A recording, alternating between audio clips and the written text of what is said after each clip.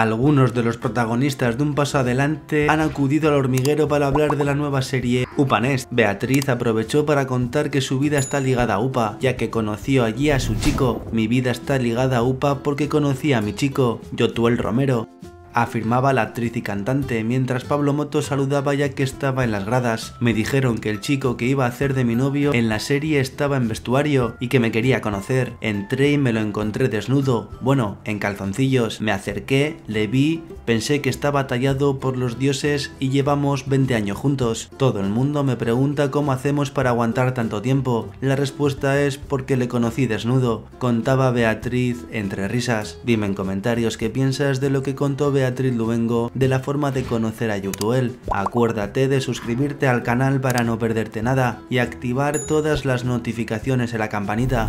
Nos vemos en el próximo vídeo.